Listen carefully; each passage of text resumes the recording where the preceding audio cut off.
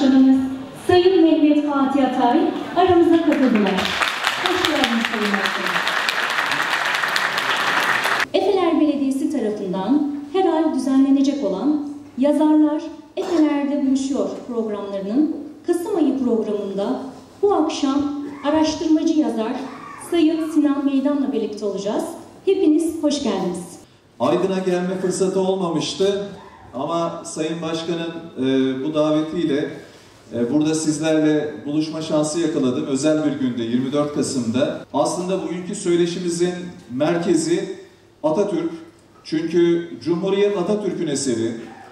Baş öğretmen Atatürk sadece harfleri öğrettiği için, yeni Türk harflerini öğrettiği için baş öğretmen değil, aynı zamanda Türkiye'ye, Türk kadınına özgürlükler tanıdığı için, Türk milletine yurttaş olma bilinci kazandırdığı için, ümmetten millet kuldan birey yarattığı için, Türkiye'yi kendi ayakları üzerinde duran bir ülke haline getirdiği için, kurduğu fabrikalar nedeniyle, Atatürk Orman Çiftliği'nde çiftçilik yaptığı için, Türk milletine her konuda yol gösterdiği için, Türk milletine her konuda baş olduğu için Atatürk bir baş öğretici.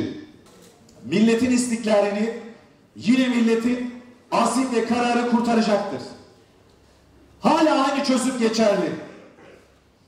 Milletin istiklalini yine milletin azim ve kararı kurtaracaktır. Yarın da aynı çözüm geçerli.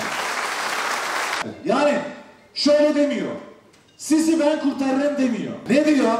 Sizi diyor siz kurtarırsınız. Kurtuluş Savaşı'nın büyük acılarını yaşamış bu kentte yani Cumhuriyeti ikinci yüzyıla taşıyacak vizyondan bahsetmek bence adres olarak da çok doğru bir nokta, çok doğru bir yerdeyim.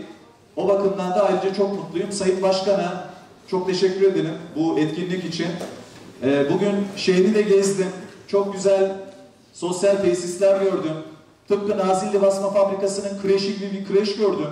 Birkaç tane hatta, üç tane. Kadınlar için yapılmış olan özel, onların oturabilecekleri, sohbet edebilecekleri yerler, yerler gördüm. Bir fabrikaya gittim. Yani müthiş güzel işler yapılmış. İşte şu, şu sloganı hatırladınız mı? İnanıyoruz ve yapıyoruz. E inanırsak yaparız, yapıyoruz.